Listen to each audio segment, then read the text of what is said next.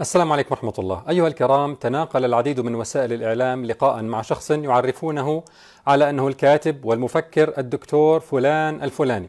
يقول أنه لا صيام في زمن الوباء. الأطباء المسلمين المحترمين قالوا بلاش صوم في رمضان رددنا على هذا الكلام من قبل لكن أريد أن أزيدكم بعض التحديث للمعلومات وأبين لكم بالدليل كيف يحتفي الإعلام بكلام عديم القيمة مبني على الجهالات لا على علم بالشريعة ولا بالطب بل وفيه تقويل للسابقين واللاحقين من الأطباء القدامى والمعاصرين ما لم يقولوا.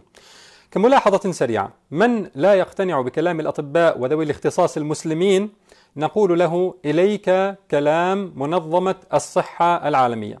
في نفس اليوم الذي خرج فيه هذا الشخص في مقابلته أصدرت منظمة الصحة العالمية في 15 4 2020 قبل خمس أيام. مقالا بعنوان Safe Ramadan Practices and the Context in the Context of the COVID-19 يعني الممارسات الآمنة في رمضان في سياق كوفيد 19 وتحت عنوان فاستنج من هذا المقال يعني الصوم قالت منظمة الصحة العالمية أنه لم تجرى دراسات على علاقة الصوم باحتمالية الإصابة بالكوفيد 19 بالمرض الناتج عن كورونا ويستطيع الأصحاء أن يصوموا هذا الرمضان كما في السنوات السابقة. بالحرف قالت منظمة الصحة Healthy people should be able to fast during this Ramadan as in previous years. وقالت منظمة الصحة بينما مرضى كوفيد 19 يمكنهم أخذ الرخصة الدينية بخصوص عدم الصيام بالتشاور مع أطبائهم كما يفعلون مع باقي الأمراض. طبعا إخواني منظمة الصحة العالمية استخدمت صياغة موضوعية هنا وهذا شيء جيد لكن هذا لا يعني أنها مؤسسة موضوعية موثوقة في كل شيء كما بينا بالتفصيل في حلقة تزييف العلم الشذوذ مثالا. فلما نذكر كلامها في هذا الموضوع فلا يعني الثقة بها في كل شيء. إذا هذا كلام منظمة الصحة العالمية. بالنسبة لنا كمسلمين ما دام هناك أصحاب اختصاص مسلمون ثقات تكلموا في الموضوع علماء في مجالهم وثقات في دينهم فلا حاجة لنا بكلام منظمة الصحة العالمية. كنا نشرنا بحث دكتور التغذية معز الإسلام فارس عن الصوم وأثره على المناعة والعرضة للأمراض. والمدعم بعشرين بحثا منشورا في مجلات عالمية بعضها من أرقى المجلات في مجالها. وبينا كذب دعوى تأثير الصيام بشكل سلبي على المناعة والإصابة بالأمراض الجرثومية. هذه الدعوة التي أصلا لا تستند إلى أي بحث ولا شيء وإنما كلام مرسل على على عواهنه. الدكتور معز نفسه نشر له من أيام بحث آخر في دورية عالمية هي دورية طب الأمراض الصدرية Annals of Thoracic Medicine. بالتعاون مع professors ودكاترة يعني رتبة أستاذ دكتور full professor ودكاترة في الطب وعلوم صحية أخرى من جامعة الملك سعود بالرياض وجامعة طنطا بمصر وجامعة الخليج العربي بالبحرين وجامعة الشارقة بالإمارات. أطباء مسلمون. كما سنضع لكم في التعليقات إن شاء الله. نضع لكم رابط مقاله وبحثه. مما بينه هذا البحث الجديد غياب أي دليل علمي على تسبب الصيام في رمضان في الجفاف ونقص السوائل المرضي الذي قد يؤدي إلى عدوى في الجهاز التنفسي. أثبتوا أنه لا علاقة للصيام بهذا. تعال بعد هذا الكلام العلمي والأبحاث المنشورة والجهود الكبيرة في المختبرات والتجارب السريرية تعال وانظر إلى كلام المفكر الكبير الذي تستضيفه قنوات مشهورة ومعروفة على مستوى العالم المسلم خاصة العرب. يقول لك هذا المفكر مفكرهم يقول نرجع لكلام الأطباء المسلمين المحترمين. قالوا بلاش صوم في رمضان. قال لك أطباء الأمة العربية الإسلامية النوابغ اللي العالم كله والحضارة الإنسانية بتحترمهم قالوا يتجنب الصوم والجماع في رمضان.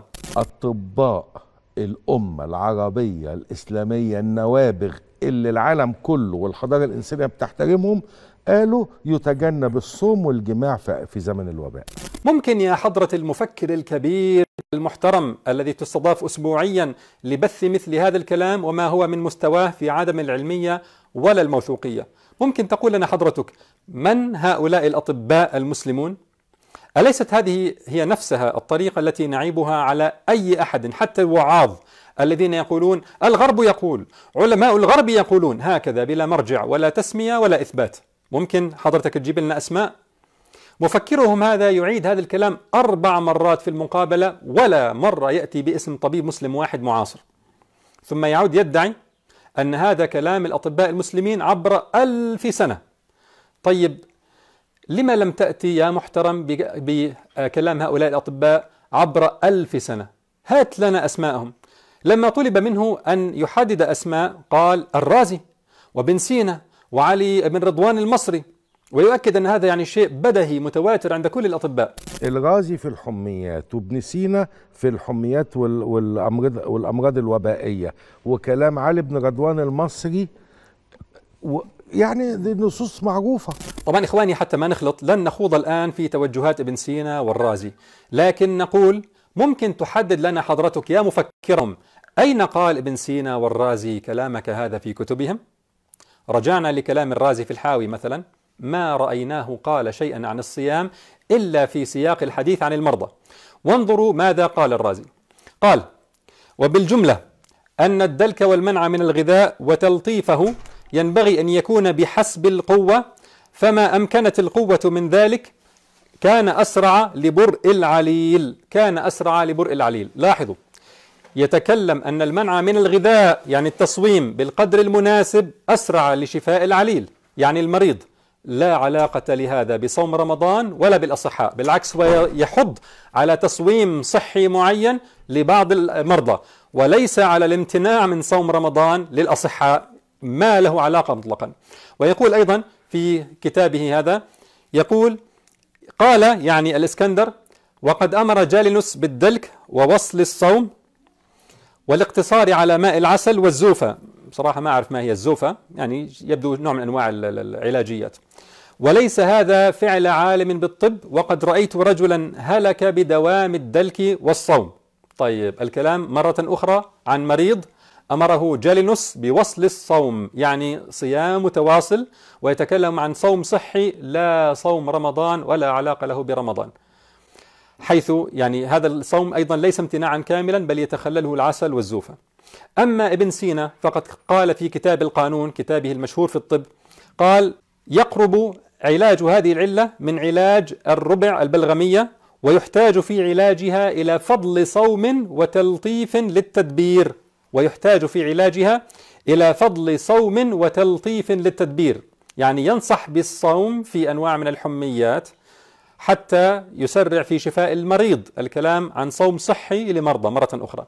إلى أن قال ابن سينا ولما لم تكن هذه الحميات بحيث توهن القوة لم نبال بأن نلطف التدبير ونستعمل على المريض الصوم مدة وأن نتلافى ذلك كل ما شئنا بأن نغذوه بما يجود غذاؤه. إذا مرة أخرى ابن سينا ينصح بالصوم لبعض أنواع المرض. نفس المفاهيم. الكلام عن مرضى وهما يشجعان الرازي وابن سينا تصويم هؤلاء المرضى صوما صحيا عن بعض الأصناف. لا علاقة للكلام من قريب ولا بعيد بصوم رمضان للأصحاء.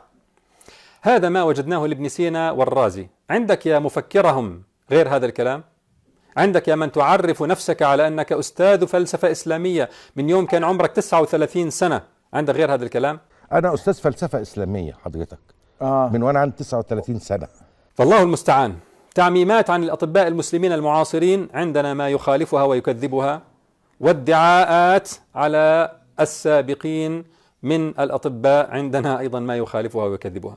فاعرفوا إخواني عمن تأخذون دينكم. بارك الله لكم في رمضان. وتقبل منا ومنكم صيامه وقيامه. والسلام عليكم ورحمة الله.